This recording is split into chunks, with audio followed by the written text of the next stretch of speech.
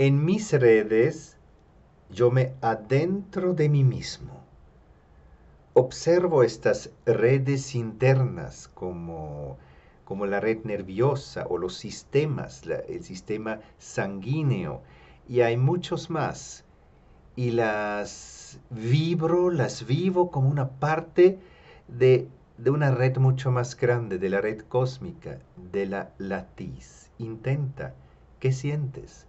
También esta red tiene centros, nudos, como el cerebro, como el corazón, como los genes.